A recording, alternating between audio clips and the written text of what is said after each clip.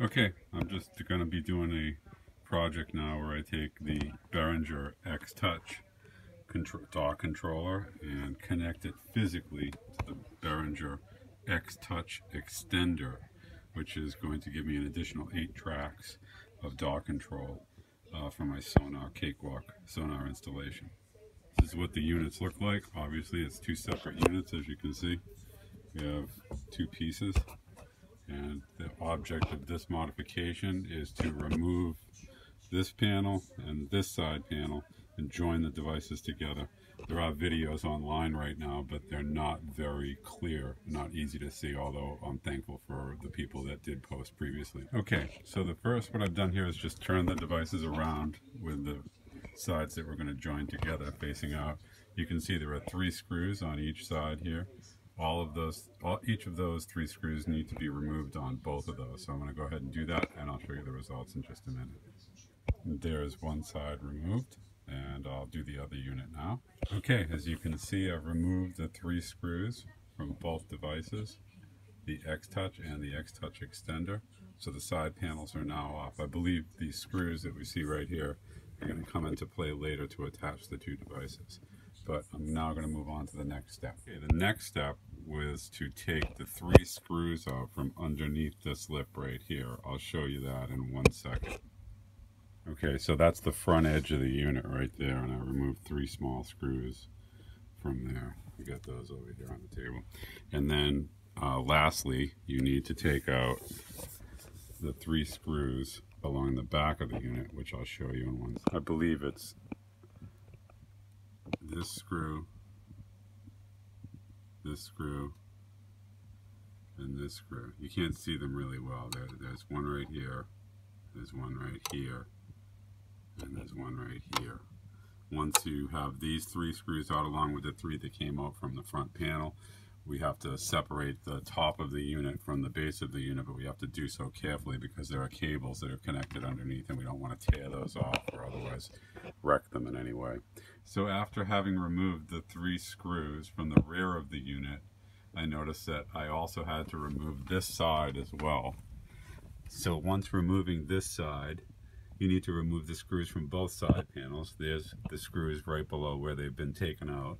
And then we're going to come over to here going to remove these two screws which will then allow us to lift the top of the unit carefully off separate it, and I believe attach the two units together. Okay, I'm at the stage now where most have advised that you actually separate the cables underneath the unit, which as you can see, it's kind of a tight squeeze here, but there's some ribbon cables that connect to the board and the top and some people online have recommended taking those cables off but I'm going to attempt to uh, connect the two units without doing so.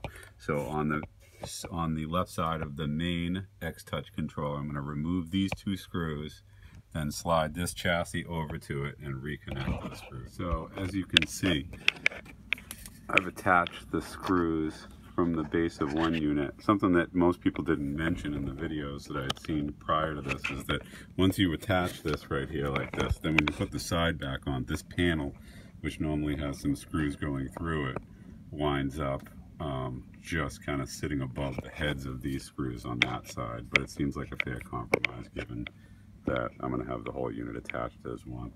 So I'm going to go ahead and slide, that's what it looks like underneath by the way. I'm going to go ahead and slide that back down. Uh, for this area right here, many people have mentioned that in the past. When you join the two units together, you get this gap right here in the front. Um, the solution for that is to take a piece of the chair like was shown in another video, you know, the part that goes on the base, on the bottom, underneath where the chair gets jacked up and down. And this particular piece was like the third tear down. I cut it off and then I shaped the piece right here. I'll give you the measurements for that piece in a minute to fill that gap. So this is going to get inserted over here and it's going to fill that space before I put the two units together permanently, which I'm going to do right now.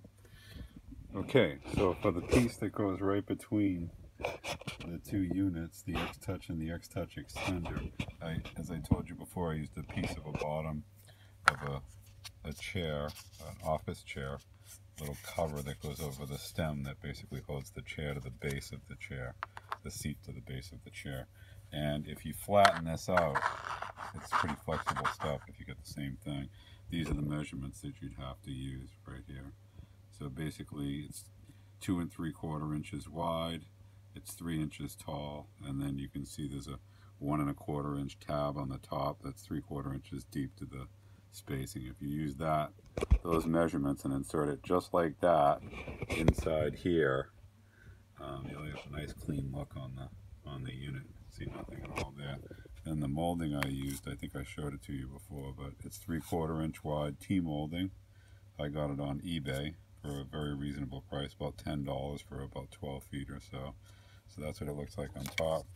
That's what it looks like on bottom, just so you can get an idea of it. And then the piece that I used was exactly 12 and a half inches long. That's the length of the piece needed to cover all the way across. Okay, I'm in the process of linking the two units through MIDI so that one is slave to the other. I'll be back with more information on that soon. This is the finished controller project. There's the two units tied together. Um, I took I took some measurements for you on the separator piece that goes right there. I don't know if you can see it very well, right between the two pieces. And also, I got you some specs for the T molding that I use right around the back of the unit. So I got a nice, clean, neat look, a nice finish on it.